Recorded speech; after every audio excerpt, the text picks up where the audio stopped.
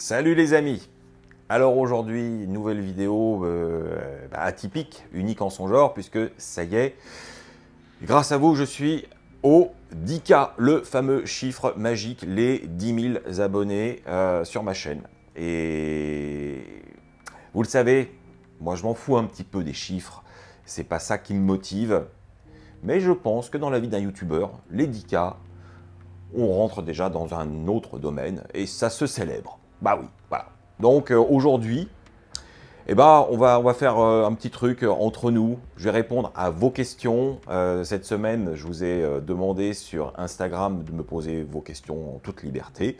Et c'est l'occasion bah, d'y répondre maintenant, tout de suite. On attaque. Allez, c'est parti. J'ai toutes les questions là. Alors déjà, on, va l'évacuer parce que c'est une question qui revient euh, très très fréquemment, vous, avez, vous êtes nombreux à me la poser. Quand, pourquoi je suis devenu vegan? En gros. Euh, bon, c'est une question que j'ai déjà répondu de moult manières, je pense, mais on, va le redire ici. Euh, donc, ça quand, quand? Eh bien, on remonte à 2007, déjà. Ouais, voilà. Donc, ça fait, ça fait, ça fait 13 ans que, que, que je suis vegan. Euh, et auparavant, euh, j'étais végétarien euh, depuis 1986. C'était encore plus vieux, oui. Donc on peut dire que mon, corps est, très libre de toute toxine animale, vous voyez, hein, depuis longtemps, c'est évacué. Alors pourquoi pourquoi, pourquoi devenir vegan? Ben, Finalement c'est une bonne question parce que c'est un parcours assez personnel, on n'a pas tous le les mêmes idées, on n'a pas le même cheminement, on n'a pas les mêmes réflexions, on n'a pas les mêmes déclencheurs, et il euh, n'y a pas de mauvais déclencheur. Euh, l'idée, à mon sens, est, d'agir en son âme et conscience. Et euh, alors que j'étais très tranquille dans, mon alimentation végétarienne, ça ne me posait aucun problème, j'ai commencé à, me renseigner un petit peu sur le végétarisme. Et j'ai découvert le végétalisme qui au premier abord, m'a semblé un truc euh, un peu timbré, hein, faut être honnête, euh, comme, beaucoup de gens hein, finalement. C'est un peu radical, je ne vois pas, pas l'intérêt, je vois pas le truc, et bon, voilà, je l'ai un peu rejeté dans un premier temps. Et en fouillant, en discutant avec les gens, je me suis quand même renseigné sur qu'est-ce qui motivait les gens justement à abandonner euh, tout produit d'origine animale dans leur alimentation. J'en étais là à ce niveau-là. Euh, et ben, ouais, forcément, hein, quand on découvre l'envers du décor euh, sur l'exploitation des vaches, euh, on voit ce que veut dire consommer un œuf pour les poussins et les poules, c'est assez cauchemardesque. Et c'est factuel. Et moi, quand je suis face à des faits, je ne fais pas dans la sensiblerie du tout, mais j'agis. C'est-à-dire qu'on me dit ceci donne ce résultat, euh, je ne peux pas le nier. Si je suis sensible, j'agis. Donc ça, a commencé euh, une remise en question euh, sur, mon alimentation, tout simplement. Et voilà, hein, la graine, elle était plantée. Et j'ai commencé à regarder aussi de plus près euh, ce que voulaient dire les tests sur les animaux, euh, qu'est-ce que c'était que s'habiller de manière plus éthique, euh, refuser la laine, la soie, le cuir et tout ça. Donc c'est vrai que c'était pour moi des, des matériaux tout à fait normaux, j'ai toujours grandi avec, et je ne me suis pas posé plus de questions jusqu'au moment où effectivement on constate que, ouais, depuis que je suis gamin, j'ai toujours été anti-fourrure, mais le cuir ne me posait aucun problème. C'est comme très paradoxal, on reste quand même sur une peau animale. Donc, oui, euh, le, véganisme est entré dans ma vie étape par étape, et euh, ce qui a euh, vraiment déclenché une, action concrète et définitive, ça a été quand j'ai rencontré Laura, qui, elle, était fraîchement végane et euh, je me suis adapté à son mode de vie dans un premier temps pour, lui faire plaisir, pour que ce soit plus simple. Voilà, il n'y avait pas forcément de, plus grande motivation que respecter ses choix et pas la confronter à, euh, des choses qu'elle n'aimerait pas. Voilà, une question un peu d'élégance. Et euh, le problème, enfin non, c'est pas un problème, c'est que l'avantage, c'est que je me suis retrouvé complètement dans, ces idées-là et dans ce mode de vie et dans ces actions. Donc voilà, comme je vous l'ai dit, quand je, sais quelque chose, que je me sens à l'aise, bah, j'agis. Donc oui, je suis devenu vegan et complètement vegan à tout niveau pour, voilà, pour toujours. Qu'est-ce qui vous a donné envie de faire des vidéos sur le sujet? Alors c'est très simple. Euh, la cuisine végétale, euh, je l'ai fait, on l'a fait avec Laura pendant de très nombreuses années euh, sur VGZone, mais sous la, forme traditionnelle écrite. Ok. Ensuite, on est passé au, livre, toujours sur le format écrit, écriture, photo, voilà, classique. On a essayé pendant un moment de le faire un peu version réseaux sociaux, en partageant de la recette, on est resté quand même sur le format toujours écriture, photographie. Euh, et puis il y a un moment où on se dit, mais en fait, euh, les gens lisent pas. Les gens lisent pas. Euh, et puis il y a des choses qui sont pas forcément faciles à expliquer. Peut-être qu'il est temps de changer de, média. Alors c'est vrai que la vidéo, moi j'y pensais depuis un certain temps, mais bon, ça que c'est pas du tout, du tout la même méthode de production on travaille pas de la même manière. Euh, et oui, ça m'a donné envie d'essayer. Euh, très honnêtement, une des personnes qui m'a donné le, plus envie d'essayer de faire des vidéos, euh, c'est toujours Jean-Philippe de la cuisine de Jean-Philippe. alors, on n'a pas le même genre de vidéo du tout, et puis c'est très bien comme ça. On, a, vraiment des choses très très différentes à dire, et même dans la forme. Mais euh, c'est en discutant avec lui à Montréal où il me disait euh, mais tu prends, tu prends, tu prends ton iPhone et puis tu essayes, tu fais des trucs et puis tu verras qu'au au fur et à mesure ça va, ça va, ça va bien se passer. Il, m'avait donné cette piste. Donc quand on est rentré en France, à un moment j'ai dit allez j'essaye. J'ai effectivement un, iPhone donc c'est une bonne euh, prise de vue. Euh, on, se lance. Donc c'est ça qui m'a motivé, c'est changer de média, être encouragé par la bonne personne qui m'a donné deux trois conseils. Et, euh, puis finalement, bah, visiblement, ça vous a plu. Sinon, aujourd'hui, vous ne serez pas, vous seriez pas aussi nombreux à vous abonner et à suivre. Sachant que, oui, a priori, vous êtes à peu près le double des abonnés à suivre les vidéos. Donc euh, c'est quand même assez, assez, motivant. Et, et j'y ai trouvé un certain confort. Euh, je prends vraiment beaucoup de plaisir à faire ces vidéos et à les partager avec vous. Donc, euh, ouais, c'est un média, j'y suis venu un peu par une réflexion presque stratégique en disant, puisque ça marche plus aussi bien sur des formats écrits, euh, version un peu blog, on va passer à quelque chose un peu plus tendance. Et en fait, non, pas tant que ça, c'est pas ça qui me motive. Ce qui me motive, c'est que c'est un, outil qui, qui facilite l'échange et qui est peut-être plus précis, plus personnel on ne se cache pas derrière les mots, on est en face à face. Enfin, je suis surtout moi face à la caméra que vous regardez, mais bon, c'est pas grave. Bon, maintenant vous savez tout. On va passer à, euh, d'autres questions euh, peut-être plus, plus, plus légères, moins, personnelles, ou peut-être plus personnelles, j'en sais pas. On va découvrir tout ça. Euh, comment vas-tu? Comment se passe le déconfinement depuis pour toi? Ah là là, le déconfinement. Bon, déjà, le confinement, il s'est très très bien passé. Hein. On est à deux, on est chez nous, on a la connexion en fibre, on a Netflix, on avait du boulot. Bref, euh, on ne l'a pas vu passer. Honnêtement, euh, euh, le, confinement n'a pas été une plaie. On n'avait pas une hâte absolue que ça finisse. On était content, mais on n'était pas non plus dans cette, dans cette réaction épidermique, dire putain, vite, vite, vite, vite, vite. Non, non, ça, allait bien. Le seul truc qui m'a vraiment manqué finalement, c'était le fait de pouvoir marcher librement dans la rue, me promener, parce que on est des gros marcheurs euh, au quotidien, donc c'est vrai que c'était un petit peu, euh, un peu frustrant de se dire, bah, moi mes courses, ce sera ma promenade. Voilà, je fais, je fais 300 mètres tous les 4 jours. c'est un peu, un peu léger. L'autre truc qui manquait forcément, c'était de pouvoir aller au resto, aller boire des bons cafés et tout ça. Donc ça, c'est on reprend le rythme justement. Ce déconfinement nous permet euh, de, ressavourer ces, petits éléments qui n'étaient pas si loin, euh, mais qui étaient encore inaccessibles au moment du confinement. Donc on marche beaucoup, beaucoup plus que d'habitude. On ne prend pas le métro, comme ça c'est mieux.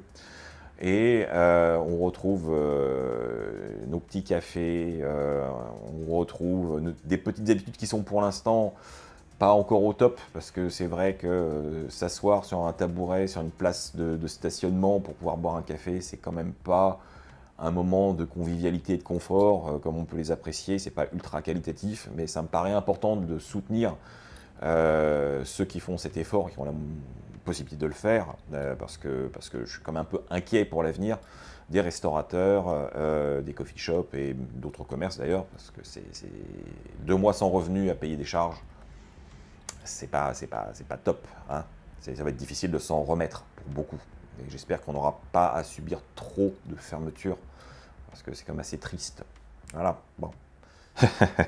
Est-ce que Jean-Philippe est tout aussi décalé, drôle en vrai, et êtes-vous amis alors, euh, alors oui, oui, oui, oui, on est vraiment amis. c'est pas juste pour la façade, c'est pas juste pour euh, quand on fait des événements qu'on a la chance de, se retrouver sur scène ensemble. Non, non, voilà, c'est vraiment un, bon pote. Euh, on, est, on est en contact tout le temps, euh, même si on a l'Atlantique euh, entre nous deux. Et alors, est-ce qu'il est aussi décalé et drôle en vrai? Ben oui. Il, joue pas un personnage. Hein. En fait, il est comme moi. On, on, est, vous donne qui on est avec notre ressenti et notre style. il, a, il surjoue pas. oui, il fait des blagues. Oui, il a un côté décalé. Euh, oui, il a ce petit humour un petit peu acide, euh, un peu sans rire par moment. Euh, et voilà, bah, bon, j'adore. Hein. Bah, je ne suis pas à convaincre. Donc oui, oui, c'est un ami et, j'y tiens beaucoup. Finalement, es-tu jaloux de la variété et de la disponibilité du tofu québécois?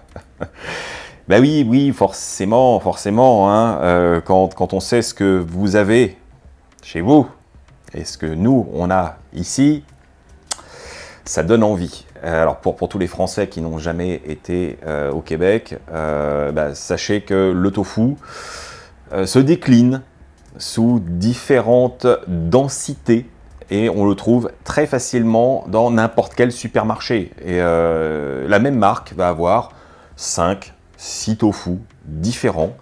du tofu ferme, extra ferme, super soft, soyeux, il y a de tout. Nous, on, se limite à euh, le tofu, le, truc neutre, euh, qui est généralement presque, presque ferme, mais pas toujours, ça dépend des marques, euh, toujours très spongieux, très, très, très gorgé de liquide, ou le tofu soyeux, mais on n'a pas, d'indicateur, on n'a pas, de, choix. Voilà, donc c'est vrai que oui, oui, j'aime bien ce côté plus précis qu'on trouve au Québec avec le tofu. C'est toujours très plaisant. Maintenant, heureusement, on a notre presse à tofu magique. Et ça, ça change la vie. Ça nous permet, nous, de gérer la densité. Ça prend plus de temps, mais on a des solutions de rechange. On n'est pas temps à plaindre. Ensuite, quelle est votre formation initiale, votre premier métier? Euh, Alors, la formation initiale, eh bien, c'est pas la cuisine, c'est le théâtre. Voilà. J'ai fait une école d'art dramatique. Ah, donc rien à voir avec ce que je fais. Cela dit, c'est peut-être ça qui me donne une certaine aisance face à la caméra, ou quand je fais des, euh, démonstrations culinaires, où j'ai pas, pas d'appréhension face à un public, à une audience, à m'exprimer. Euh, voilà, ça m'a certainement apporté quelque chose euh, que, je n'avais pas envisagé à l'époque. Mais oui, moi, mon, truc à la base, c'était le théâtre. Oui, oui, oui. Voilà. Et puis, en fait, je suis quelqu'un effectivement qui, euh, qui essaye d'avancer, qui essaye de rebondir. Euh, j'ai laissé tomber euh, le théâtre pour passer au, journalisme pendant de nombreuses années aussi. et puis, j'étais vraiment spécialisé dans tout ce qui était jeux vidéo, high-tech, loisirs numériques. après, voilà, hein, ça s'est aussi cassé la gueule. Hein, c'est des choses qui arrivent. Et après, j'ai commencé à travailler sur un sujet qui était un peu lié, c'est qu'à force de s'intéresser aux jeux vidéo à un niveau un peu professionnel, euh, je me suis forcément enrichi au niveau de tout ce qui était système d'exploitation et matériel informatique. Donc euh, à un moment, je me suis retrouvé à faire de la maintenance informatique. Voilà. Donc euh, rien à voir, mais il y a une sorte de continuité comme ça. Donc aujourd'hui, voilà, j'utilise des outils informatiques, j'utilise mes talents d'orateur théâtraux et euh, avec une ligne éditoriale de journaliste. Ah, ça se combine, hein, on n'est pas si loin. est-ce qu'un chef créateur de recettes a des livres de cuisine? Eh bien, c'est pas, pas bête comme question. Euh, bah oui, oui, oui, bien sûr que j'ai des, des livres. Euh, maintenant, objectivement, je les utilise pas. Ouais, voilà. J'ai principalement les livres de mes petits camarades euh, pour les soutenir parce que ça me fait plaisir en tant qu'objet. J'ai un peu côté un peu collectionneur dont j'essaye de me détacher, mais bon. mais est-ce que je fais les recettes? Pas vraiment voire même euh, jamais, sauf qu'il y en a si une, il y en a qui me tape vraiment dans l'œil, allez, je vais la faire et tout.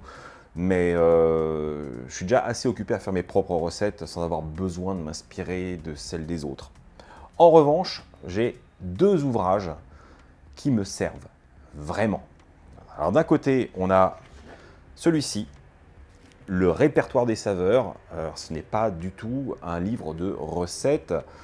Euh, mais effectivement, c'est la Bible des associations de saveurs. Ça nous permet de, composer avec un ingrédient, voir avec quoi ça va se marier facilement. Et, euh, voilà. Donc, quand on est créateur de recettes, justement, euh, moi je pense que c'est un ouvrage absolument indispensable pour gagner du temps, pour se rassurer, pour explorer des pistes auxquelles on n'aurait pas pensé. Donc ça, c'est un très bon bouquin.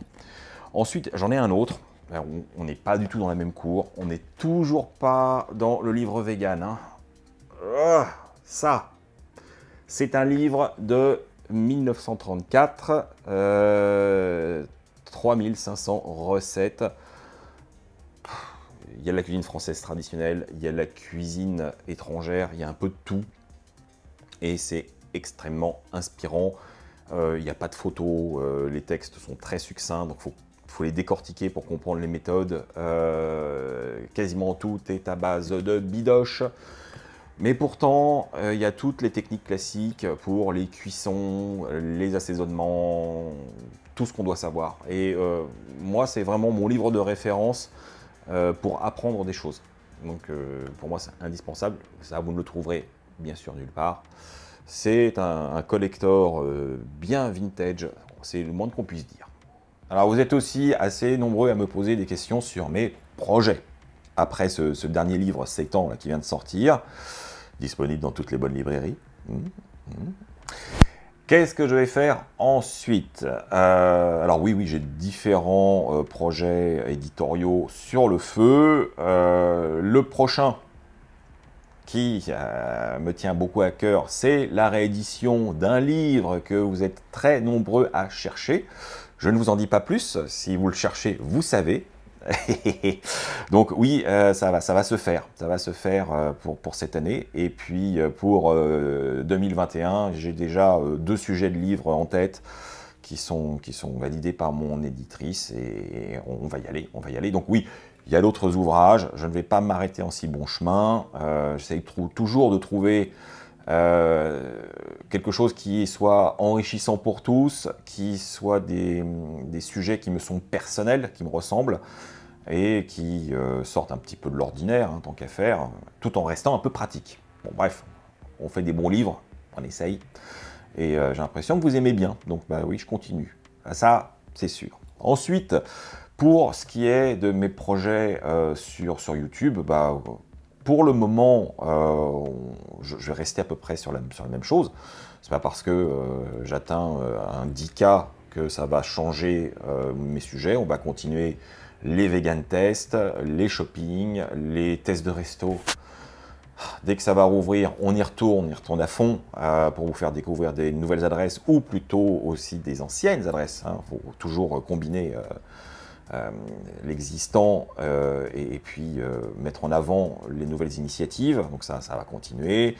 Et puis bah voilà, tous les petits sujets qui sont peut-être un peu plus mineurs sur ma chaîne, on va continuer à les faire parce que parce que c'est important et que j'ai pas envie de me mettre de, frein en termes de sujets. On continue. Alors ah bah oui. Mais où est Laura? Bonne question. Alors bah Laura, elle est pas loin. Elle est derrière l'objectif en ce moment. Hein, et voilà, donc euh, Laura va bien, euh, Laura elle m'épaule euh, sur ma chaîne comme elle peut, comme elle, le sent, c'est-à-dire que généralement elle est derrière, c'est elle qui filme, c'est elle qui déclenche. Elle m'épaule aussi souvent sur la communication sur les réseaux sociaux, parce que c'est son métier, donc euh, c'est normal. Et puis Laura, bah, forcément, comme vous le savez, c'est elle qui s'occupe de toutes mes photos dans mes livres. Donc si je suis si beau sur la couverture, c'est grâce à elle. Hein, voilà. Donc Laura, Laura est très active, même si vous ne la voyez pas elle est toujours là, elle est très très là. Alors d'autres questions qui reviennent assez souvent, et pas que euh, à l'occasion de ce question-réponse que j'ai lancé sur Instagram, c'est euh, est-ce que, je vais faire des choses en province? Est-ce que je vais sortir de ma ville et euh, aller ailleurs pour découvrir les restaurants locaux ou simplement moi venir pour faire une présentation, des dédicaces, des démos culinaires, tout ça? Eh ben, je, suis comme tout le monde. Euh, les voyages, c'est pas gratuit. Donc, c'est pas une question de mauvaise volonté, euh, d'une sorte de parisianisme exacerbé en me disant non, je suis à Paris, je n'en bouge pas. Euh. non, pas du tout. D'ailleurs, sur certaines de mes vidéos, j'ai déjà eu l'occasion de vous montrer d'autres endroits. Alors, sur la France, pas tant que ça. Je vous ai fait Lyon, puisque j'ai eu l'occasion d'y aller pour des Veggie World. L'Angleterre, je vous ai fait Londres sur deux vidéos différentes. Euh, Montréal, j'ai fait deux vidéos fleuves. Hein. Vous en avez pour, euh, au cumul, je pense, une heure et demie euh, de, tests de restaurants sur Montréal. je vous ai fait Berlin. Je bouge pas tant que ça. Voilà. Donc, soit je profite de mes vacances pour découvrir ce qui se passe et le partager avec vous, Soit, euh, effectivement, euh, ma maison d'édition euh, m'organise des, événements, que ce soit effectivement démo, dédicace, quelque chose, dans, une ville, et je, dis toujours oui. soit, effectivement, c'est un festival qui m'invite, donc je me déplace pour ça, et du coup, pour moi, il n'y a pas de frais. Eh à un moment, il faut être très terre à terre. Euh, le voyage coûte de l'argent, l'hébergement coûte de l'argent, euh, les frais euh, divers et variés, ben voilà, ils sont là. Donc si ça ne tenait qu'à moi, tous les mois, je partirais quelque part dans une ville pour tester un peu la scène vegan locale et faire des vidéos et les partager avec vous. Mais si vous avez des contacts dans les offices du tourisme, Euh, je, suis là, je suis volontaire, euh, je, ne suis pas avare de mon temps, il n'y a pas de souci, mais il faut que les occasions se déclenchent et, je viendrai à vous, où que ce soit, sans aucun état d'âme. Ah, question intéressante. As-tu suivi des cours de cuisine ou as-tu appris tout seul euh, ben Non, je n'ai pas pris de cours de cuisine. Et est-ce que j'ai appris seul? Oui. Et à la fois non. Parce que si euh, j'ai appris des choses, c'est qu'elles m'ont été transmises d'une manière ou d'une autre. Et euh, objectivement, quand je regarde un peu en, arrière, j'ai toujours été entouré de gens qui m'ont transmis leur savoir-faire dans un, échange. Alors ça commence forcément avec, avec mes parents qui cuisinaient tout maison, hein, et avec l'observation, avec euh, en donnant un petit coup de main de temps en temps, hein, euh, ce que j'appelle mettre la main à la pâte. Hein, euh, en, tant qu'enfant, c'est un peu limité, éplucher une carotte ou graisser un moule ou faire des petites choses du quotidien, donner un petit coup de main.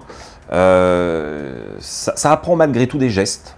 Ça apprend l'importance de bien faire les choses, de, voir que la cuisine, c'est pas si compliqué, ça demande un petit peu de rigueur. Enfin, il y a des choses comme ça. Euh, moi, j'ai aussi encore des souvenirs euh, de, ma grand-mère qui me préparait des petits plats parce que j'étais un, enfant assez compliqué, il hein, faut quand même admettre, euh, sur l'alimentation.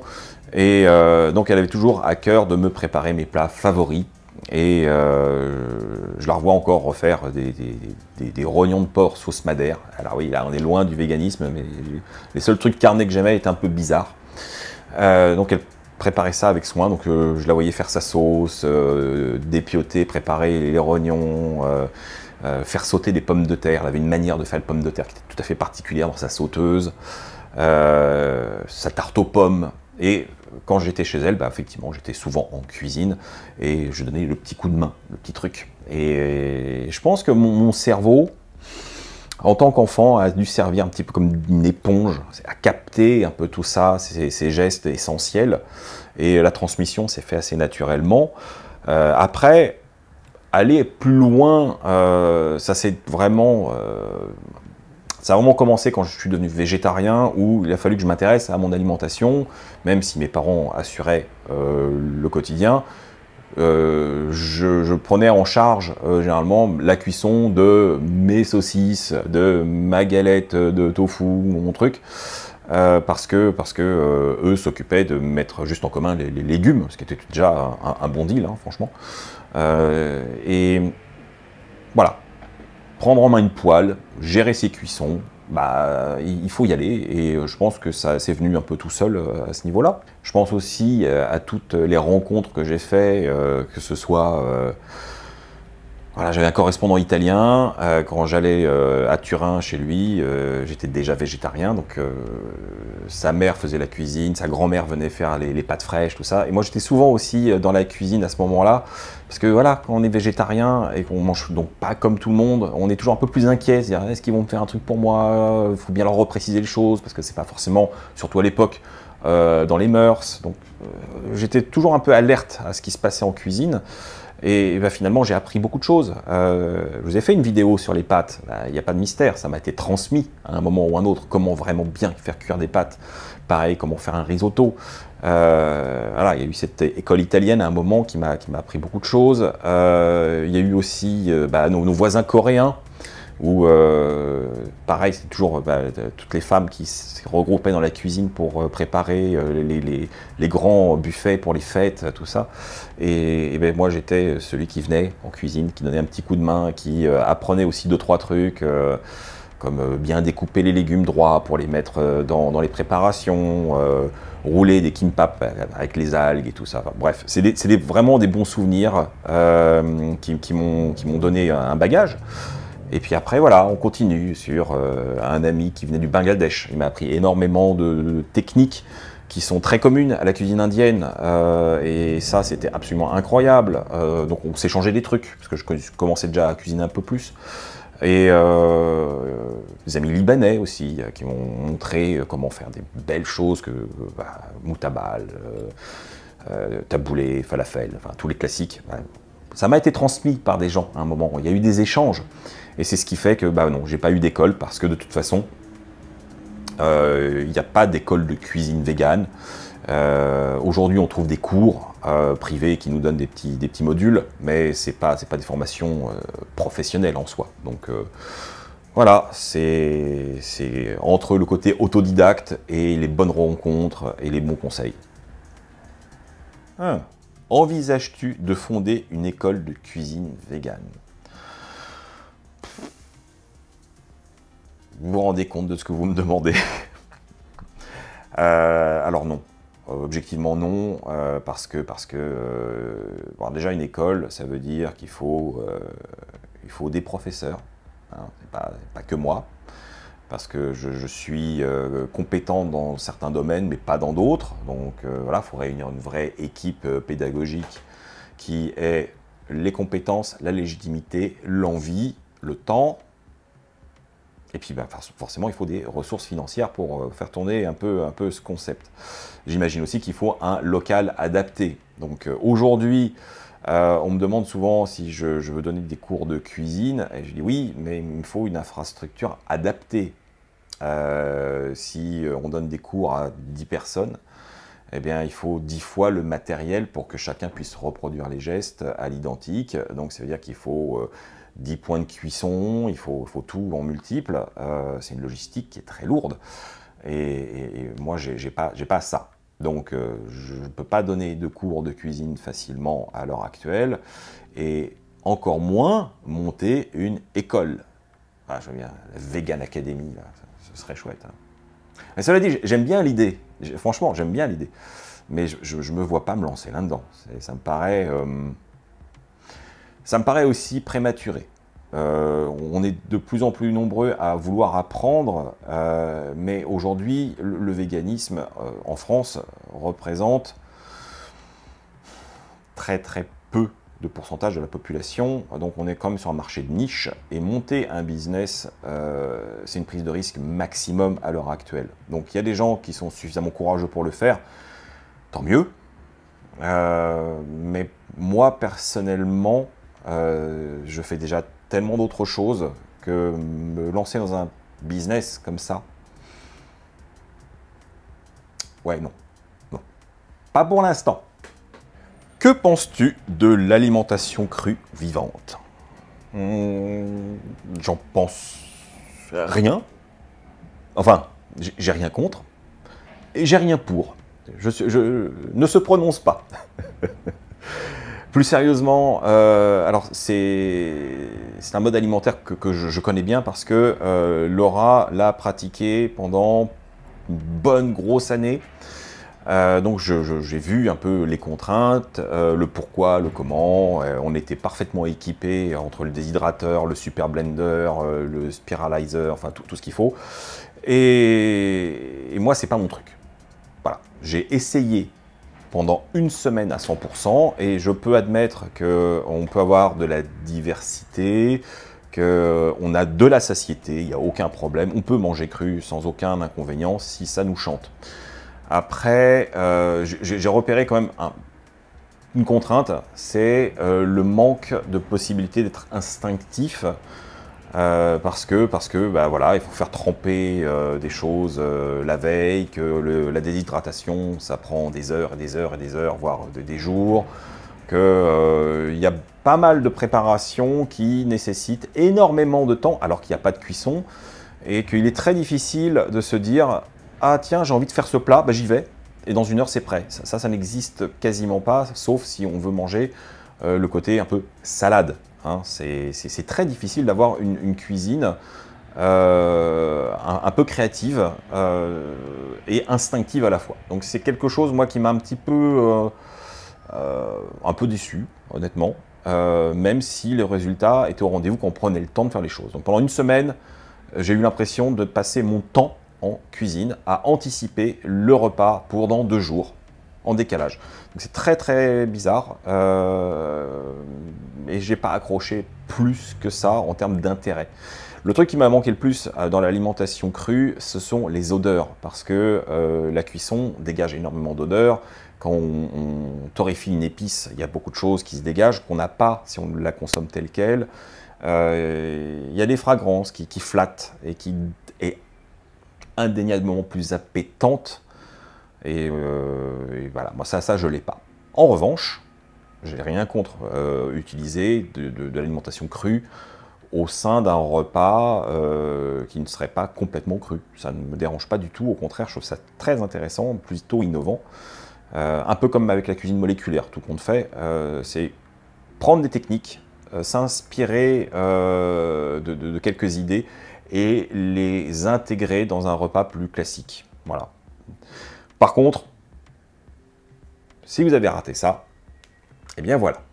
Il y a un livre qu'on a fait avec Laura qui s'appelle Certains l'aiment cru aux éditions de l'âge d'homme, où on a essayé de créer des recettes euh, un peu plus gastronomiques, un petit peu plus poussées, euh, tout en respectant vraiment tous les codes de la raw food euh, pour donner quelque chose de vraiment gourmand. Donc c'est un livre qu'on a eu beaucoup de plaisir à faire, mais très objectivement, à la fin de ça, ça a été un peu la, conclusion du chapitre du cru euh, dans notre vie, parce que voilà, on a fait le tour et on est passé à autre chose. Maintenant, ceux qui aiment manger cru, allez-y. Alors bien sûr, ça, cette question, elle m'a été posée, ah, je ne sais pas combien de fois dans ma vie. Euh, est-ce que je compte un jour ouvrir mon propre restaurant? Non, non, pas du tout. Non, non, non, non, non. Je, tiens à ma liberté, à ma vie, à mon temps, à voir mes amis, à pouvoir faire ce que je veux. Et faut pas rêver. Euh, être restaurateur, c'est un sacerdoce, c'est un sacrifice de vie. Euh, les restaurateurs, ce sont des gens que j'admire beaucoup. J'ai plein de copains dans la restauration. Je connais leur vie je, ne veux pas la même. Je ne veux vraiment pas avoir euh, cette contrainte, ce stress. Euh, c'est un, travail qui est admirable, qui est aussi épuisant, euh, aussi physique que moralement. c'est compliqué, c'est très compliqué. Moi, j'ai un profil effectivement qui est plus sur la création. Et c'est peut-être aussi ça qui fait que ça ne me motiverait pas plus que ça d'avoir un restaurant au sens où j'aime, j'aime pas personnellement manger deux fois la même chose. Ça voudrait dire que tous les jours, je devrais changer la carte euh, pour pouvoir me sentir à l'aise et faire une cuisine très personnelle. Parce que généralement, c'est ce que vous attendriez de moi, a priori. Pas simplement de faire un best-of de ce que je fais déjà dans mes livres. Ça n'a pas un grand intérêt. Euh, donc non, je, ne veux pas travailler dans un restaurant, je ne veux pas ouvrir un restaurant. En revanche, ce que j'ai déjà fait et ce que je, continue à faire, ce sont des collaborations avec des restaurants où je crée justement une recette exclusive éphémère pour l'établissement, euh, une recette signature que vous pouvez découvrir. Donc ça, ça j'aime beaucoup faire ça, c'est assez ludique et en plus c'est l'occasion d'avoir une vraie rencontre euh, avec d'autres personnes et d'avoir un projet commun euh, pour, euh, pour faire un peu vibrer vos papilles. Donc ça, ça, me fait vraiment toujours très plaisir. Mais mon restaurant, non, ça me semble presque cauchemardesque. Il y a des questions. Hein. Quand feras-tu un live cuisine torse-poil avec un tablier transparent? Et vous avez des fantasmes parfois. Hein je devrais me sentir flatté, je pense. Mais euh, euh, alors, je, suis très embêté parce que je n'ai pas de tablier transparent. Alors, toute autre question. As-tu pris, perdu du poids depuis ton régime vegan? Bon, on va commencer par un petit point sémantique. Le régime vegan n'existe pas on parle d'alimentation végétalienne. Quand on est vegan, on mange végétalien. On ne mange pas vegan. C'est un faux ami, un anglicisme. Donc, euh, j'essaie, je chipote parfois, oui, voilà. Mais c'est vrai que j'aime pas trop l'abus du mot vegan à toutes les sauces. Ça ne nous rend pas forcément service et ça complexifie peut-être la pensée. Euh, donc, le régime végétalien m'a effectivement fait perdre beaucoup de poids sans aucune privation. Alors avant, euh, j'étais végétarien depuis de très très nombreuses années euh, et particulièrement amateur de fromage, beaucoup, et euh, assez spécialiste de la cuisson des œufs, donc j'en mangeais beaucoup. On ne peut pas dire que c'était vraiment très équilibré et donc j'étais en surpoids, clairement. En supprimant tous les produits d'origine animale, donc les produits laitiers, les œufs, le miel. J'ai perdu 18 kilos en 3 mois sans aucune privation hein, en termes de quantité, hein, sachant que j'ai une bonne fourchette. Euh, J'avais rien changé et j'ai fondu. J'ai fondu. En fait, j'ai fondu, j'ai retrouvé euh, ma silhouette euh, que j'avais quand j'avais 20 ans. Quoi. Un peu un effet bonus inespéré, inattendu et même pas recherché. Et d'ailleurs, c'est peut-être ça que, que j'aimerais mettre en avant n'entamez pas un régime alimentaire pour changer de poids. C'est pas vrai. Il y a des gens qui deviennent euh, végétaliens et qui prennent beaucoup de poids. Euh, il y a des gens qui en perdent, il y en a qui... ça bouge pas. Ça dépend de votre métabolisme, ça dépend de votre physionomie, de votre euh, patrimoine génétique, peut-être de votre terrain, je ne sais pas. Mais en tout cas, euh, on ne peut pas dire à quelqu'un deviens vegan en mangeant végétal, tu vas perdre du poids. C'est pas vrai. Moi, ça a fonctionné, bien que ce ne soit pas le but recherché, ça a été un bénéfice que j'en ai retiré, mais je connais d'autres personnes qui n'ont pas bougé d'un gramme, voire d'autres qui ont pris du poids. Donc, euh, je ne sais pas quel était le sens de la question à, l'origine, mais attention, ce n'est pas un but en soi. Penses-tu faire des vidéos avec d'autres youtubeurs, youtubeuses? Euh, Alors, ben, en fait, j'en ai déjà fait. J'en ai déjà fait. Euh, dans les tests de resto, euh, vous avez pu me voir avec Marie de, la chaîne Sweet and Sour régulièrement, et inversement.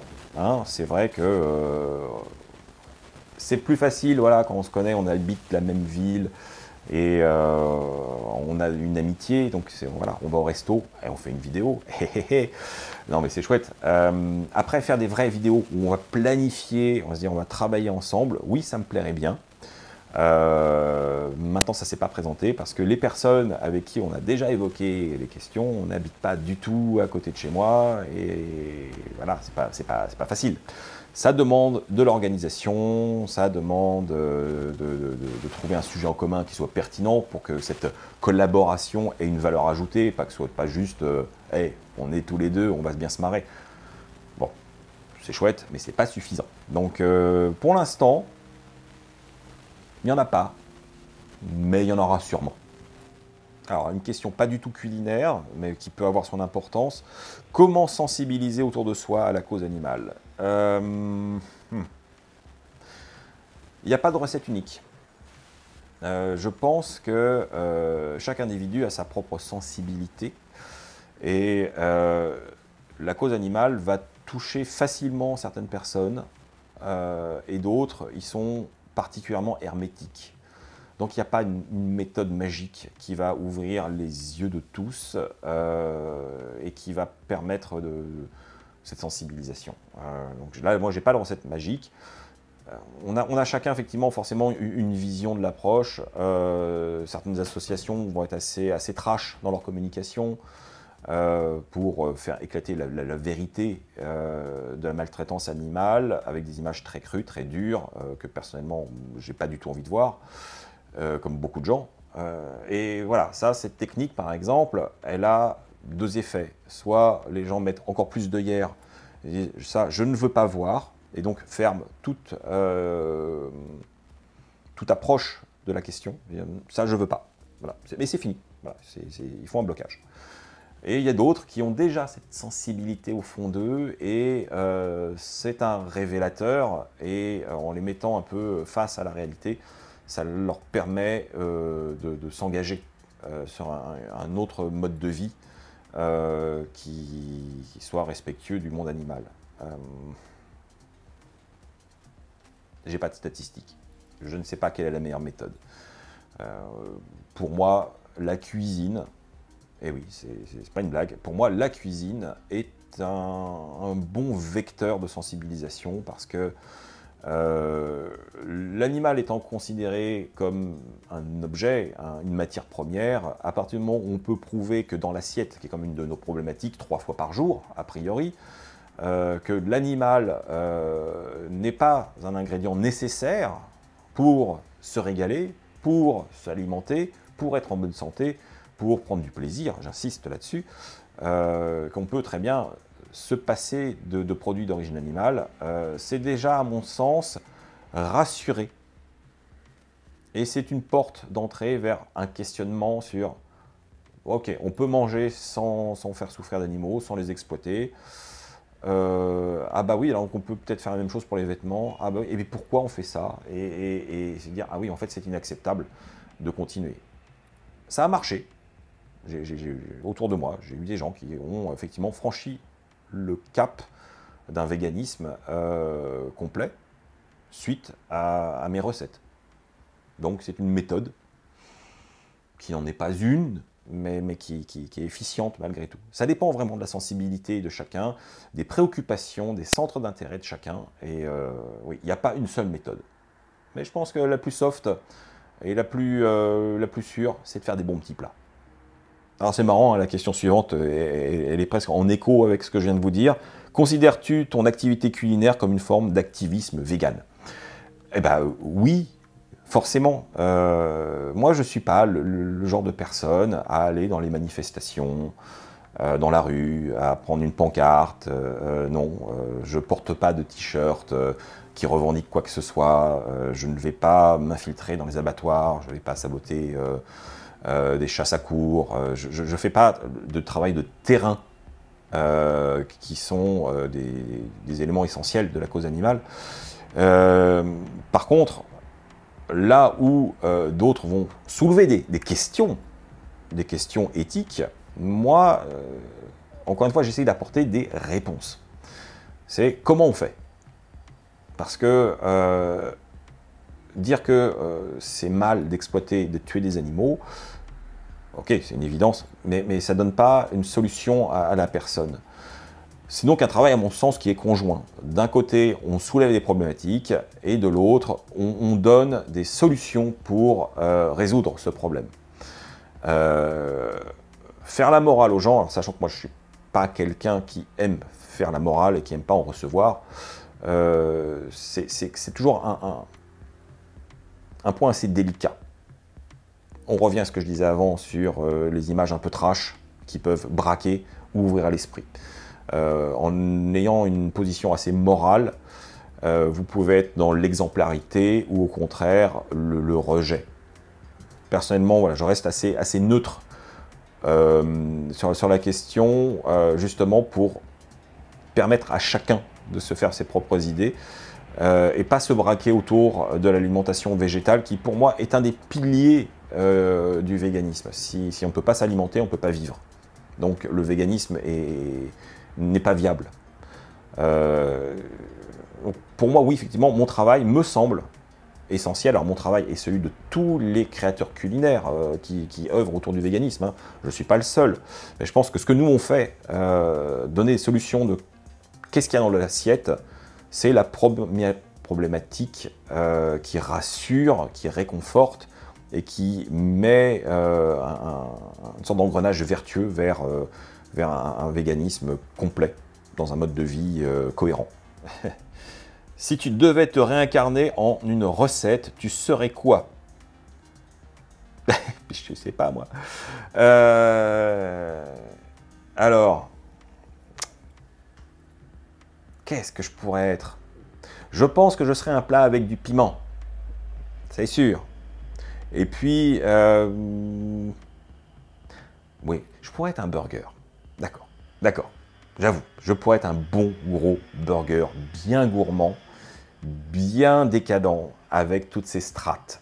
Parce que euh, je trouve que c'est un, plat euh, qui est assez emblématique, qui parle à tout le monde, qui s'adresse au plus grand nombre, qui est plutôt facile à réaliser, mais qui demande un peu de réflexion pour être vraiment bon. ce que j'aime dans le burger, et c'est peut-être là que je, pourrais être satisfait d'être incarné en burger, c'est euh, effectivement la complexité euh, du jeu de texture, de strates. Euh, c'est un, produit en soi qui est assez, assez, assez riche, assez intéressant, qui donne beaucoup de plaisir normalement, et qui fait un peu travailler les sens en donnant du réconfort. Plutôt cool d'être réconfortant. Hmm voilà. Mais je mettrais comme une sauce avec du piment, histoire de réveiller un peu l'essence. Hum. Quelle est ta plus grande fierté en lien avec ton véganisme? Euh, Quelle est ma plus grande fierté? En fait, je ne sais pas si je, suis fier d'être vegan, parce que pour moi c'est assez normal, c'est assez naturel. J'en tire pas une fierté, je, ne m'en glorifie pas. Euh, c'est pas quelque chose. En, tant que personne, je m'annonce pas en disant Hey, salut, je suis vegan. Bah non, je, suis Sébastien et je, fais plein de choses. Et, accessoirement, je, suis vegan. Même si ça définit euh, quelque part un peu ma philosophie de vie, mon mode de vie au quotidien, euh, j'en tire aucune fierté, aucune gloire. Parce que pour moi, c'est normal. Maintenant, il y a quelque chose qui me rend fier malgré tout, euh, c'est mon travail. Quand je fais un livre de cuisine euh, et que les gens sont heureux de s'approprier leur alimentation grâce à des recettes que j'ai créées, ça me rend fier, forcément. Euh, parce que quelque part, j'espère avoir changé un peu leur vie pour le meilleur. Et oui, forcément, j'en tiens une satisfaction énorme. Quand je reçois vos messages en me disant j'ai fait ta recette, j'ai adoré, je l'ai servi à ma famille, qui sont pas véganes, et euh, ils ont trouvé ça super bon. Euh, bah, forcément, pour moi, on a gagné un truc. Voilà, c'est un truc euh, qu'on partage. Alors on le partage à travers des mots, à travers, à travers des vidéos, à travers des livres. Mais ouais, forcément, moi, ça me touche et ça me rend fier de me dire que ce que j'ai pu imaginer, ce que j'ai pu vous donner, a eu un impact positif pour vous. Donc ça, ça, me rend content. Mon mari veut la même moustache que toi, donc je vais pas la raser. Hein. La barbe, en fait, est-ce que tu as des conseils? Eh ben oui, alors euh, c'est la question pileuse. Euh, en fait, il faut savoir que euh, ouais, c'est du travail. Ça n'a pas l'air comme ça, et d'ailleurs, c'est pas fait pour. Mais une barbe, une moustache, ça s'entretient. Euh, c'est comme une coupe de cheveux un peu propre, euh, il faut, la tailler, il euh, faut faire des choses. Il y a beaucoup plus de soins, je pense, chez les barbus que chez les hommes qui sont plutôt glabres. Hein. C'est côté rituel, les huiles, les baumes, se, brosser, se peigner, se shampouiner, euh, la cire pour la moustache. D'ailleurs, vous avez certainement remarqué que depuis un certain temps, euh, dans mes vidéos, vous ne voyez plus mes bicycles. Alors, la longueur est toujours là, mais je suis sur un problème logistique de cire à moustache vegan. Je n'en ai plus beaucoup, donc je la réserve à des occasions un peu où j'ai envie vraiment de me faire plaisir. J'attends de recevoir en espérant qu'elle fonctionne, euh, mais, bientôt, ça reviendra. Mais c'est pour ça que vous ne me voyez plus avec. Euh, c'est pas par flemme ou euh, parce que je m'en suis lassé. Euh, ce qui me donne peut-être l'idée. Est-ce que ça vous intéresserait que je fasse une vidéo spéciale pilosité faciale en, vous montrant un petit peu les, produits que j'utilise au quotidien pour entretenir voilà, cette tête particulièrement velue. Êtes-vous membre ou soutenez-vous une association, organisme militante? Euh, Alors, je suis pas, je me définis pas comme un militant en fait. Euh, je, soutiens euh, l'association végétarienne de France depuis de, très nombreuses années et je, collaborais d'ailleurs au, magazine officiel en tant que chef de rubrique culinaire à l'époque. j'ai arrêté parce que, parce que j'ai plus le temps. Hein, ça prend du temps. C'est très chronophage de faire ce genre de choses. Et donc j'ai arrêté à regret, mais je me suis recentré un peu sur mes activités. Donc ça, ça c'est une association qui me tient vraiment à cœur, euh, qui n'est pas effectivement la plus euh, populaire, au sens où effectivement, il ne parle pas de la question animale. Et euh, quand on parle de véganisme, on pense souvent avant tout aux animaux. pourtant, l'association végétarienne de France est une association réellement végane. Euh, il n'y a pas de, promotion euh, dans l'alimentation de produits laitiers, des œufs, du miel. Bien au contraire, ils expliquent bien à quel point euh, il faut, il faut s'en passer. donc c'est une association pro-vegan et ça l'a toujours été. le côté végétarien du, nom est un terme générique puisque finalement le, le végétalisme n'est qu'une sous-catégorie du végétarisme dans un grand tout d'alimentation qui refuse qui refusent la viande. Donc euh, voilà, faut pas se braquer là-dessus. Euh, sinon, non, je, ne soutiens pas d'autres associations parce que il y en a trop. Il y a trop d'associations à soutenir. Donc à un moment, il faut faire des choix. Je vais soutenir les actions typiquement d'associations en relayant potentiellement des informations, mais comme n'importe qui peut le faire. Euh, c'est ce que je vous engage d'ailleurs à faire si vous pouvez sur vos réseaux sociaux. Vous voyez des informations pertinentes. Euh, soyez les relais actifs de ces associations. Euh, ça ne vous coûte rien, ça ne vous prendra pas beaucoup de temps. ça va peut-être vous positionner, vous, en tant qu'individu par rapport à vos idées, ce qui n'est pas plus mal. Ça vous affirme. et surtout, c'est efficace. Le relais d'information est certainement la chose que, que l'on peut faire de mieux en tant qu'individu sans pour autant être adhérent à ces associations. Oh que penses-tu des mouvements véganes extrémistes? Avec les guillemets qui vont bien. Euh, bon, alors ça c'est toujours un sujet un peu polémique. Euh, objectivement, je ne suis pas favorable à l'extrémisme. Euh, je suis plutôt favorable à la cohérence. Donc, Qu'est-ce que l'extrémisme? Généralement, c'est aller à la limite euh, ultime du sujet que, que, a à cœur. Quelqu'un qui est extrémiste, forcément, est quelqu'un euh, qui, j'aurais tendance à dire, d'intègre dans ses idées, et dans ses actions. Maintenant, euh, je, pense qu'on fait souvent allusion au vegan extrémisme quand il y a des débordements qui vont vers la violence, euh, que ce soit envers des gens ou envers du matériel. Euh, le saccage de, de, boucherie, par exemple, ne me semble pas quelque chose que je trouve positif, simplement parce que le vandalisme n'est pas, à mon sens, quelque chose qui attire l'attention de manière euh, positive sur un mouvement. Ça me, semble assez, euh, paradoxal d'être sur un mouvement qui est censé être sur l'ouverture, la bienveillance, euh, la compassion. le véganisme est un mouvement qui est positif. et avoir des actes négatifs, je sais pas.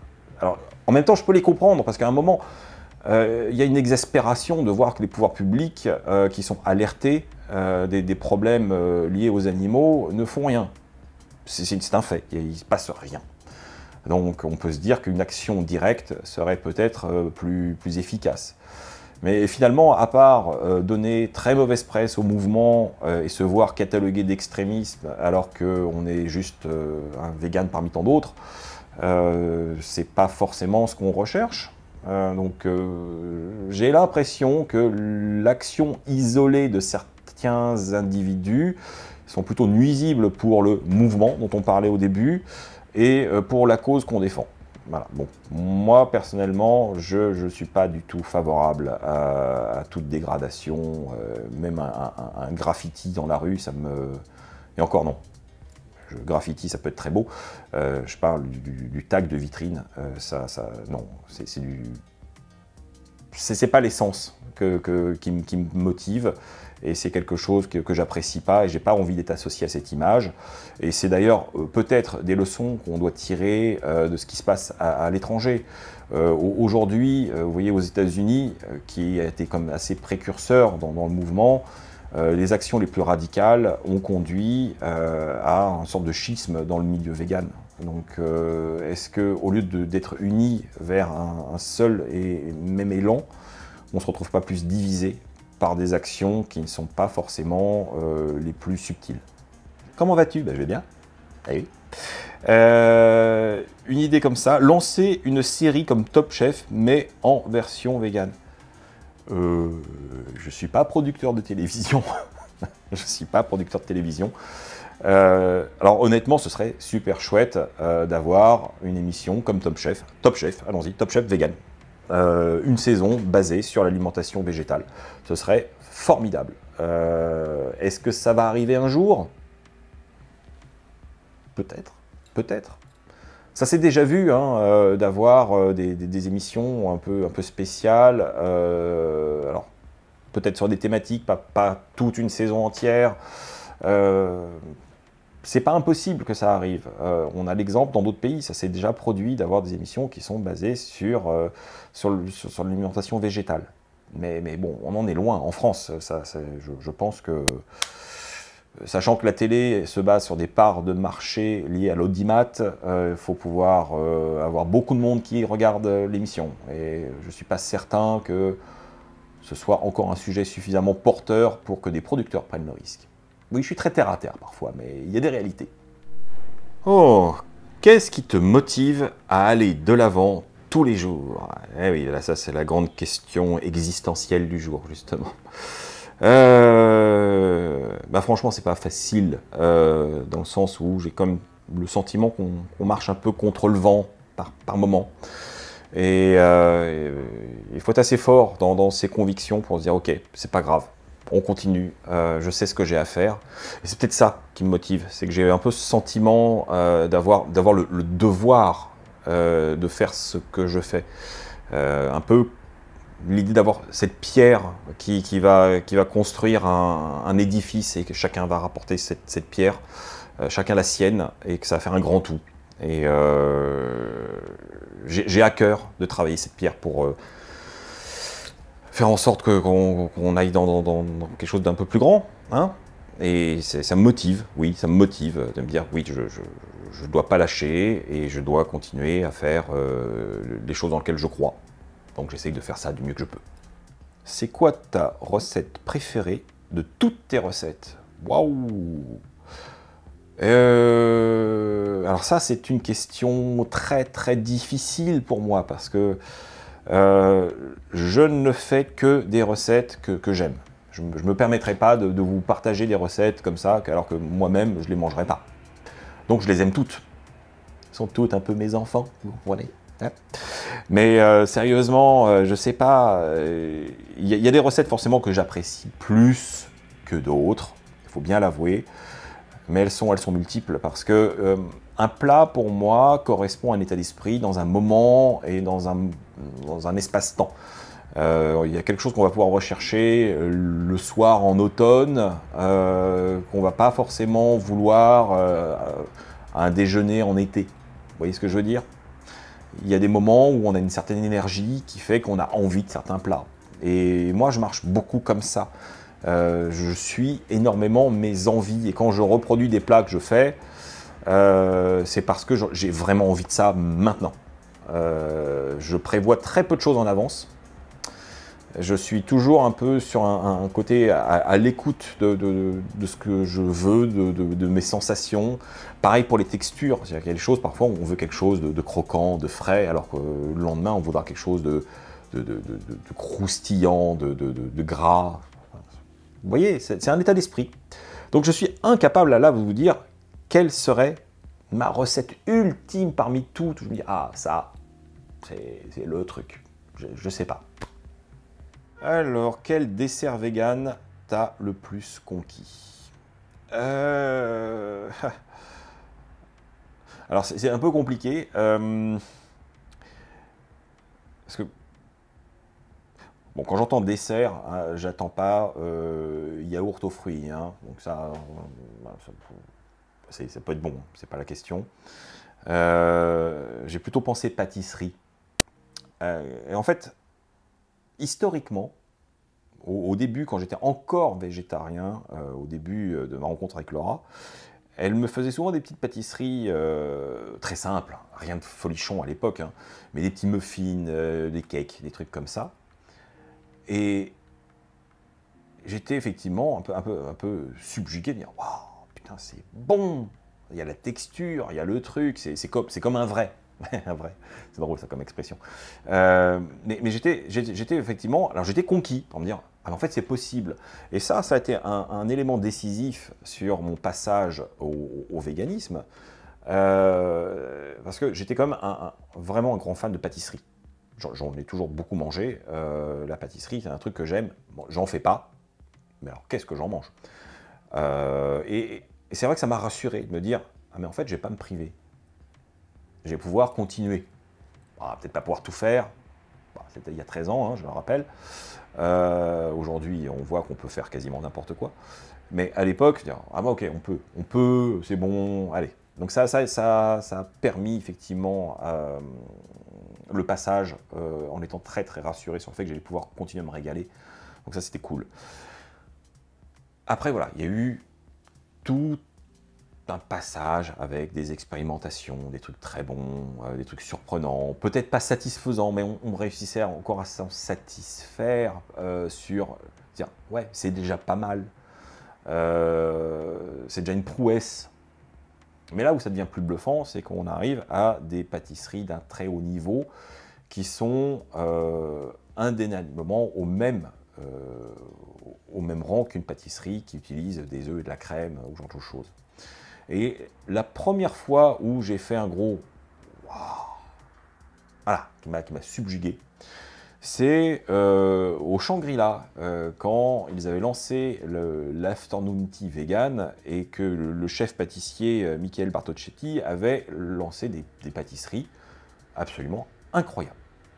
Alors là, on est sur un, tea time avec plein de choses, des entremets, des biscuits, des, petites tartelettes, enfin il y avait plein de trucs, les, ces scones étaient incroyables, enfin bref. Voilà, je, je regrette que ce soit fini ce temps-là, mais euh, j'ai eu effectivement un, vrai coup de cœur, une émotion dans ma dégustation en me disant c'est d'une finesse que je ne pensais pas qu'on puisse atteindre à ce jour. Donc il a montré que c'était possible. Euh, et ça a été vraiment pour moi le, début euh, d'une satisfaction retrouvée. Aujourd'hui, voilà, euh, de la pâtisserie de qualité, on en trouve beaucoup plus facilement à Paris, même si je sais qu'il y a d'autres établissements dans d'autres villes de France qui font des choses extraordinaires. Je n'ai pas eu l'occasion de les goûter. Mais quand je pense à VG Pâtisserie ou Land Monkeys, on a, des, vraies bonnes pâtisseries qui, qui, font plaisir, on a des viennoiseries, on a, on a des choses qui font que, ah, voilà, on peut continuer comme avant. Et quelque part, c'est un petit peu ça qui, est rassurant. C'est-à-dire que le, végétalisme en soi, c'est pas renoncer à nos cultures, ce n'est pas renoncer à nos plaisirs, à, ce que l'on recherche.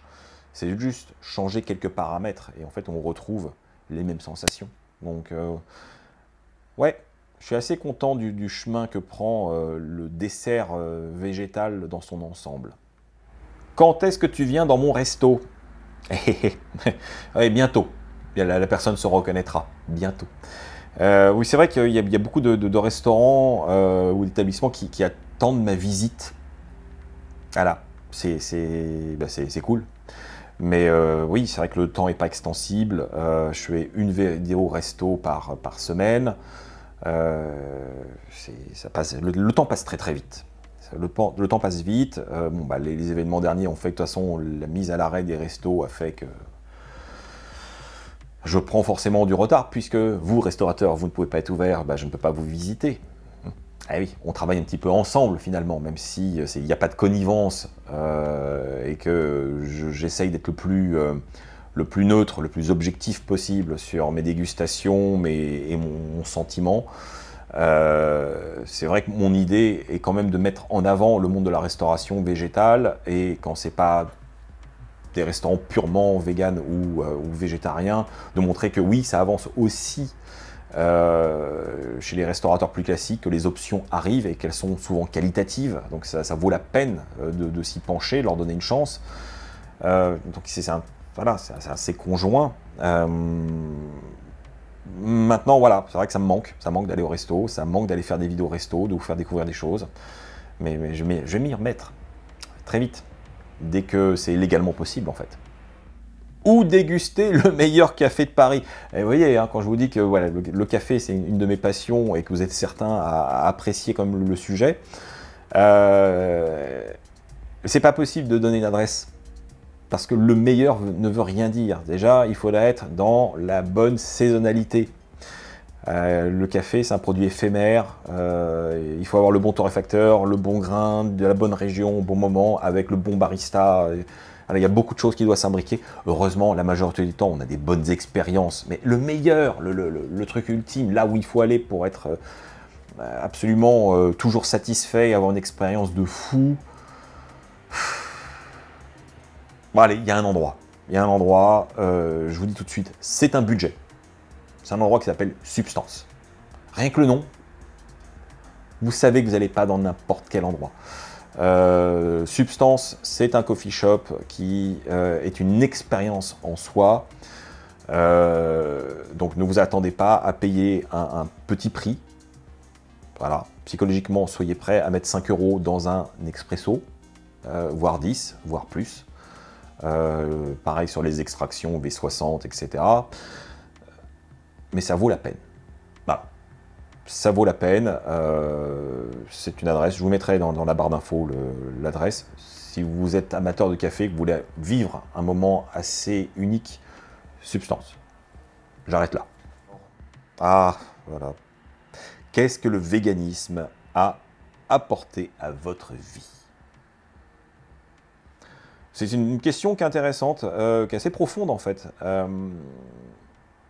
quand on devient vegan, je pense que ça, bouleverse pas mal de choses. Ça bouleverse d'abord des certitudes euh, sur ce que l'on croit être.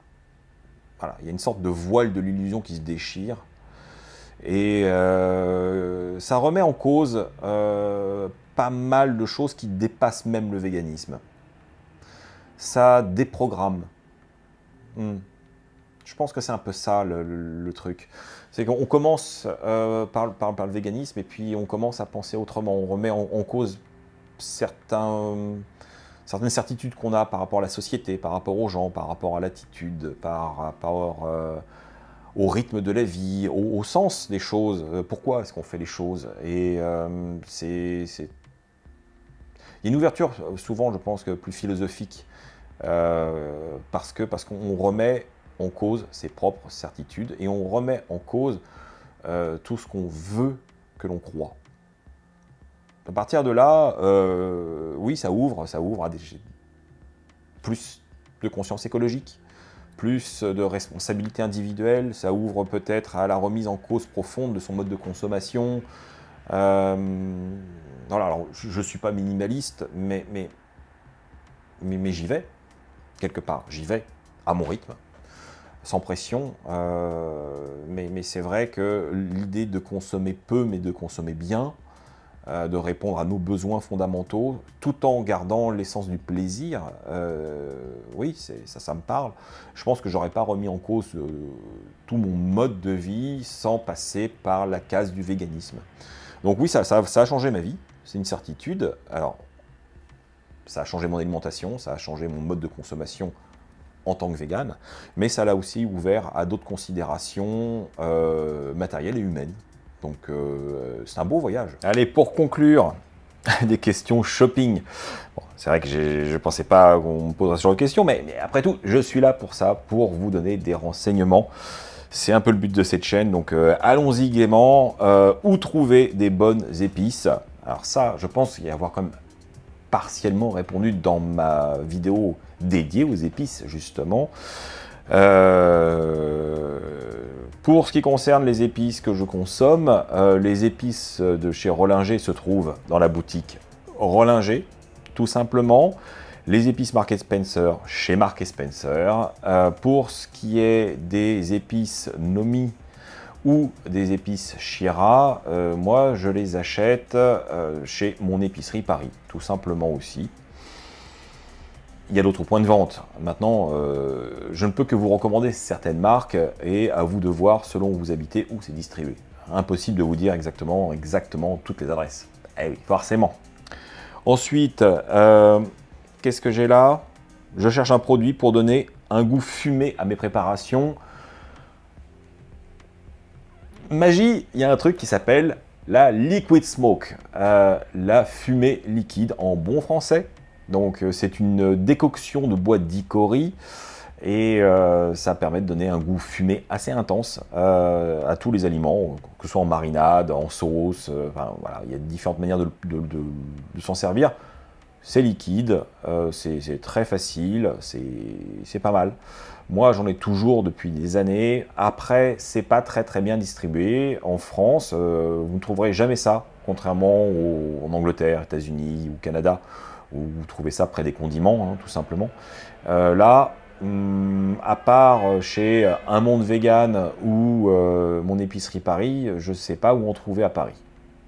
Et puis alors ailleurs, je ne sais pas non plus. Hein. Mais en magasin bio, j'en ai jamais vu non plus. Donc euh, perdez pas votre temps.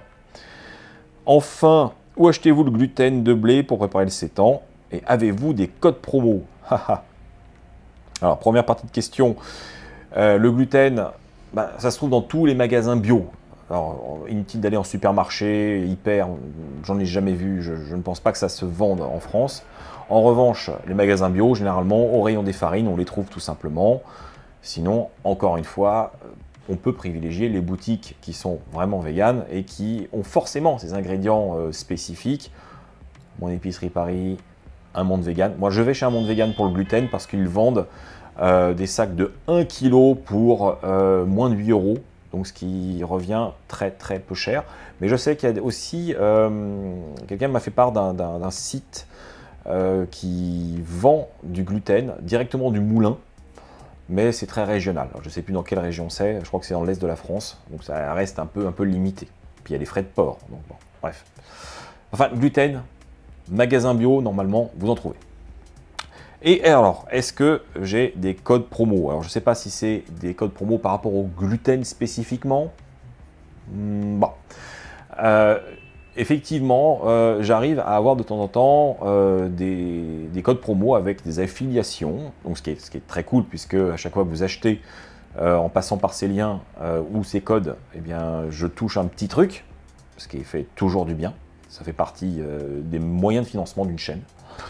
Concernant le gluten, j'ai effectivement vu dans le catalogue de chez Casidomi des sacs de gluten. Donc, si vous utilisez le code pour vous abonner à Casidomi, vous allez bénéficier d'une réduction. C'est plutôt cool. Euh, et puis j'ai d'autres euh, codes promo. je mets tout ça dans la barre d'infos. N'oubliez pas d'aller dans la barre d'infos. Euh, on n'a pas forcément le réflexe, mais c'est là que je mets les liens vers mes livres, vers mes sites, mes réseaux sociaux et compléments d'informations à la vidéo au sujet avec les liens vers les marques pour que vous trouviez facilement par vous-même les informations complémentaires que vous pourriez rechercher. Donc maintenant, je vais intégrer aussi ces fameux euh, codes de promo euh, pour que vous puissiez en profiter sans avoir besoin de chercher euh, sous la vidéo correspondant au sujet. Donc ce sera plus simple. Voilà les amis, on en a fini avec cette vidéo, bon, qui aura duré plus longtemps que prévu parce que j'avais annoncé sur Instagram que je gardais les 10 meilleures questions, mais finalement, meilleur, ça veut dire quoi? Je me suis dit, on va répondre à un maximum de personnes qu'importe, voilà, on prend son temps. Euh, j'aime bien, j'aime bien savourer des instants avec vous, et puis c'est pas tous les jours qu'on fait ça. Hein. on va dire que la prochaine fois qu'on fait une question-réponse, ce sera pour les 50 000 bah, on n'y est pas, hein. mais, grâce à vous, ça peut venir plus vite que prévu. Euh, d'ailleurs, j'en profite euh, pour un petit, rappel, un petit rappel qui, est presque hors sujet, mais qui est quand même très conjoint. Le succès d'une chaîne, euh, bah, c'est lié forcément à, ses abonnés, mais surtout à ce que vous faites. À partir du moment où vous lâchez les pouces, que vous laissez des commentaires, euh, vous faites de l'interaction, euh, et c'est ça que l'algorithme, le fameux grand algorithme, calcule pour voir comment positionner une chaîne et comment bien la référencer et quel est son impact. Au plus il y a d'interaction, quelle qu'elle soit, au plus c'est positif. Or, je sais, et, moi je l'ai fait pendant de nombreuses années, qu'on est nombreux à regarder des chaînes sans même forcément s'abonner, euh, à jamais mettre de pouces, à jamais laisser de commentaires, à pas partager, parce que bon voilà, on, regarde et puis c'est cool et, on apprécie. Mais on n'interagit pas. Et en fait, en faisant ça, on, pénalise vraiment la chaîne parce que euh, tout est calculé par rapport à l'interaction. C'est quelque chose qu'il faut vraiment intégrer. Et je dis ça pour tous les créateurs de contenu. C'est pas, pas que pour moi. Alors, faites-le pour moi, bien sûr. Ça fait plaisir. Mais euh, je pense à tous les autres. On a tous le même problème d'avoir euh, des, gens qui, euh, qui consomment ce contenu gratuitement, mais qui, en échange, finalement, ne, ne mettent pas de pouce, ne s'abonnent pas, ne font rien. Et ça, c'est un, vrai problème. Il euh, faut en prendre conscience. Euh, ça coûte rien. C'est encourageant. Et euh, juste pour vous donner une petite idée, aujourd'hui, la majorité de mes vidéos sont regardées par à peine plus de 50% de mes abonnés. Les autres, l'autre partie, ce sont des gens qui ne sont pas abonnés. Donc, si tout le monde s'abonnait, j'aurais le double d'abonnés à peu près. Et euh, en termes de visibilité, ce serait encore plus profitable pour tout le monde. Et c'est pas le cas. Donc je vous dis pas que vous êtes responsable. Je vous dis juste, pensez-y quand vous avez une chaîne que vous aimez, soutenez-la. Et ça, il ne s'agit pas forcément de donner de l'argent sur Tipeee. Ça c'est cool. Mais euh, soutenir une chaîne, c'est simplement mettre un pouce et s'y abonner, c'est la base. Autre manière de soutenir aussi, c'est partager sur les réseaux sociaux euh, autour de vous. C'est très pratique. Euh, ça vous permet effectivement de vous positionner quelque part euh, comme, comme acteur de, ce qui vous plaît. Hein, on, partage quand même certainement des valeurs en commun. Et le diffuser autour de vous, bah, ça, peut, ça peut aider. Ça peut aider la chaîne, ça peut aider moi, mais ça peut aussi aider à promulguer le message qui est derrière. Et ça, bah, voilà, c'est pareil, ça coûte rien. Donc autant en profiter. Voilà les amis. Bon, bah on va conclure. Juste un petit chiffre parce que euh, on me l'a posé en, privé. Euh, eh bien, en deux ans d'existence de la chaîne, j'ai produit déjà 115 vidéos. Et là, c'est la 116e. Voilà, tout le monde s'en fout. Hein. Mais au moins, vous savez un peu ce qui se passe derrière. Euh, bah, je vous ai déjà invité finalement quelque part à lâcher les pouces, commenter, vous abonner, activer la cloche, tout ça. Donc je ne vais pas vous refaire la leçon, je vous laisse faire. Et on se retrouve bientôt pour d'autres vidéos.